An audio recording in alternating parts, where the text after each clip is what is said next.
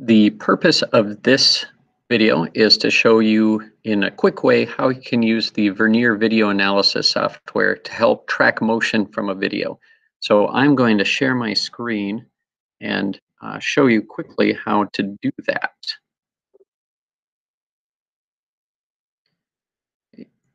All right, so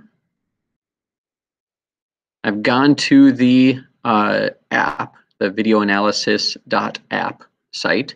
We get this file, this screen, and I'm going to uh, open a saved file, or I'm going to import a video, sorry, from my computer. And I'll use one of the old ones that I've used in previous years, which is of a spring gun physics uh, that we use in class here for some of the stuff.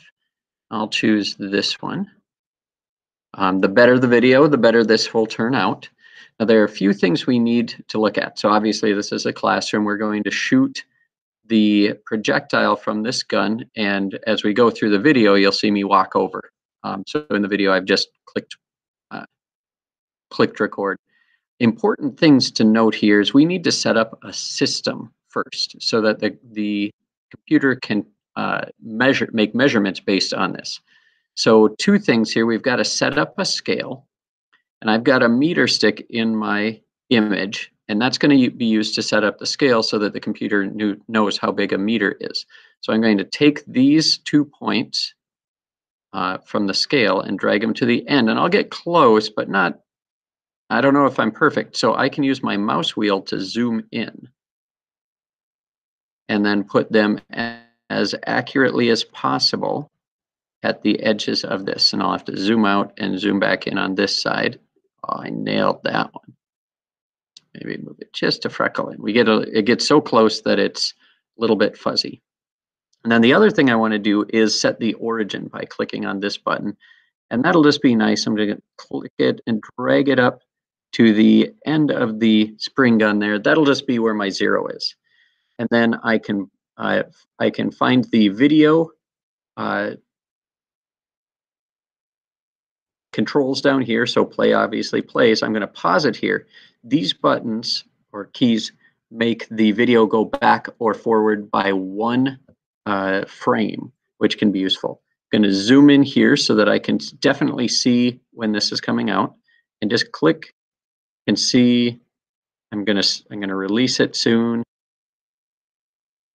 If I overshoot, not a big deal because I'll be able to go back. Oh, I went too far. So I'm going to go back can't see it. I think I cannot see it there. So I go forward one, and here's the ball. Now it comes out as a streak because the camera records at about 30 frames per second.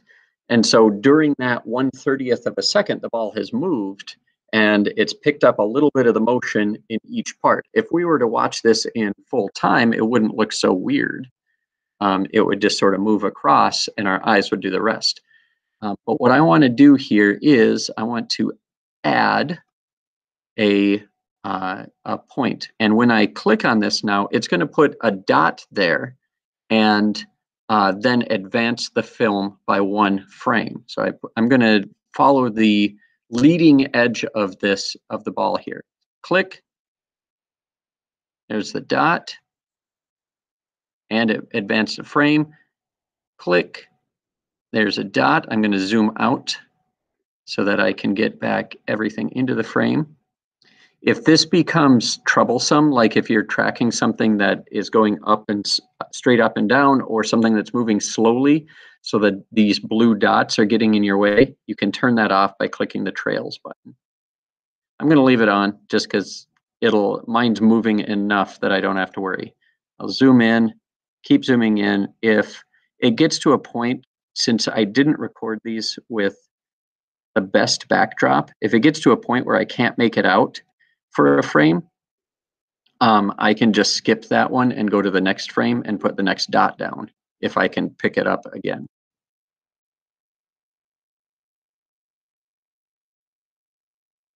And finish this up. I think I got, looks like I got one more here, maybe two before it falls under the edge of the table. So here, it's pretty tough to tell. I'm going to put a dot there because I think it's there. I can see a little bit of a lightning, um, but that's it. So that shows the path of the ball. So now we're kind of done with the video part now that I've uh, laid out my dots. And I'm going to come over here to the measurement part. So I'm just clicking and dragging that. Um, and I'm particularly interested in the graph rather than the numbers. I could export these and put them into something like Excel or Google Sheets and do a lot with them. Um, but right over here, I just want to look at a couple of the different components of it. So because this was a two-dimensional plot, uh, this was moving in both X and Y, I get both of those, uh, the information from both. But for right now, I'm going to look at just the X. So I'm going to click on this and I'm going to deselect the Y. Okay, so this looks like a fairly linear thing. Um, if this is showing the displacement in X versus the time. Uh, one thing I can do is I can highlight a bunch of this. And let's say that looks, gosh, that looks kind of linear. Wouldn't it be nice to see if that's a line and do some math on it and figure out the slope in the formula? I can. Um, these graph tools down here allow me to do that. So I can view statistics, uh, do all this apply a curve fit is a useful tool for me. And so it defaults to linear. I could change it to a different shape. Um, but if I apply, it applies a linear fit. It even gives me the formula. If I were to try something else, let's turn off the X and turn the Y back on. This doesn't look linear anymore. So I could select this and try a different fit down. Uh, obviously not linear. Uh, maybe power. Ooh, not a power. Maybe a quadratic. Oh, that's beautiful. And apply that, and I get statistics for the quadratic and the formula for it. I can also, it's already got, if we look down at the bottom, it's already done some calculations here based on the velocity uh, and motion. So that's pretty slick. I could click here and say, I don't want to look at the displacement and why I want to look at one of these velocities click on that and we can do the same sort of math. So it already does sort of the calculations to find the velocities based on the fact that we set up and we showed it, here is what one meter means. Okay, so a lot to do here. Um, I can, I cannot here show the acceleration. That's actually a, a new or a, a feature that some others have had um, I could predict the what the acceleration looks like though based on the shape of velocity. So there is something about that. And I can still make, if I'm clever, I can still make an acceleration measurement uh, over an average amount of time or an average acceleration over amount of time. So that's something we can talk about as well. Um, but as in a basic way, this is how you can use the software. Okay, and that's all I've got on this topic.